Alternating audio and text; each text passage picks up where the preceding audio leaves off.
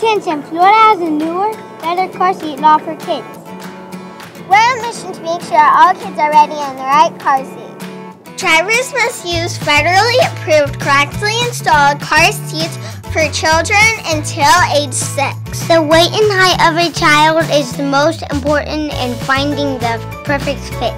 Always follow the car seat manufacturer's recommended guidelines. Babies and toddlers should ride in a rear-facing car seat as long as possible. Young kids are safest in a forward-facing car seat.